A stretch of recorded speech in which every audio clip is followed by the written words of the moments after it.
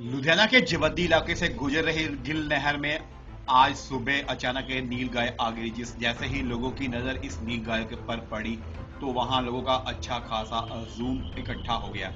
One विभाग और कुछ स्थानीय तैराक कड़ती ठंड में नहर में कूद तो गए, लेकिन करीब दो घंटे की बड़ी मुशक्कत के बाद उस नील गाय पर काबू पाया जा सका और फिर जाल रस्सी की मदद से उसे बाहर निकाला गया। फ़िलहाल वन विभाग के अधिकारियों के मुताबिक वो फिलहाल इसे एक पास ही एक स्थित एक चिड़ियाघर में ले जा रहे हैं जहां पर जरूरत अनुसार उसका प्राथमिक उपचार किया जाएगा और फिर वन विभाग के उच्च अधिकारी फैसला लेंगे कि इसे कहां रखा जाए ਮੈਂ ਸਵਾਰੀਆਂ ਲੈ ਕੇ ਗਿੱਲਾਂ ਜਾ ਰਿਹਾ ਸੀਗਾ ਜੀ ਜੋ ਕਿ ਇੱਥੇ ਪਬਲਿਕ ਦਾ ਰਸ਼ ਦੇਖਿਆ ਪਬਲਿਕ ਅਣਗਿਣਤ ਰੋੜੇ ਮਾਰ ਰਹੀ ਆ ਰੋਸ਼ ਪਾ ਰਹੀ ਆ ਕੋਈ ਮਤਲਬ ਨਹੀਂ ਕਿਸੇ ਨੂੰ ਜੀ ਜੋ ਕਿ ਉਹਦਾ ਕੋਈ ਮਤਲਬ ਨਹੀਂ ਬਣਦਾ ਕਿਸੇ ਦਾ ਵੜਨ ਦਾ ਜੋ ਕਿ ਤਾਰੂ ਆ ਜਈ ਜਾਣਦਾ ਉਹ ਵੀ ਨਹੀਂ ਵੜਦਾ ਜਿਹਨੇ ਬ- ਮਾਰਨਾ ਕੀ ਉਹਦਾ ਰੋੜੇ ਮਾਰ ਕੇ ਮਜ਼ਾ ਲੈ ਰਿਹਾ ਜੀ ਮੈਂ ਉਧਰੋਂ ਗਿੱਲਾਂ ਤੋਂ ਮੈਂ ਗਿੱਲਾਂ ਤੋਂ ਖਾਲੀ ਆਇਆ ਜੀ।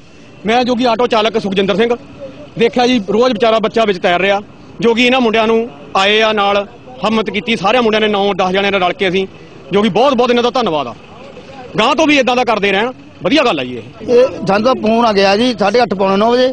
ਤੇ ਅਸੀਂ ਪਿੰਡ ਸਾਡਾ ਉੱਥੋਂ ਹੈਗਾ 30 ਕਿਲੋਮੀਟਰ ਪੇ ਗਾਂ ਉੱਥੋਂ ਫਿਰ ਸਾਜਰੇ ਜਦੋਂ ਫੋਨ ਆਇਆ ਅਸੀਂ ਤੁਰ ਪਏ। ਆਏ। ਆਏ ਤਾਂ ਜਦੋਂ ਆ ਦੇਖਿਆ ਵੀ ਤੁਹਾਡੇ ਸਾਹਮਣੇ ਜਾਲ ਪਾਏ ਆਪਾਂ ਨੇ ਬਸ। ਕਿੰਨੇ ਜਲ ਪਾਏ? ਸੀ? ਹੁਣ ਅਸੀਂ ਨੀਲੋ ਲੈ ਕੇ ਜਾਣੀ ਹੈ ਨੀਲੋ ਜੰਗਲ ਚਿੜੀਆ ਘਰ 'ਚ ਜਾਵਾਂਗੇ। ਪਹਿਲਾਂ ਇਹਨੂੰ ਕੋਈ ਟਿਕਟ ਕੋਲ ਲਵਾਵਾਂਗੇ ਅਫਸਰਾਂ ਨੂੰ ਫੋਨ ਕਰਾਂਗੇ। ਉਸ ਤੋਂ ਬਾਅਦ ਜਿ- ਜਿੱਥੇ ਕਹਿਣਗੇ ਉੱਥੇ ਛੱਡਾਂਗੇ।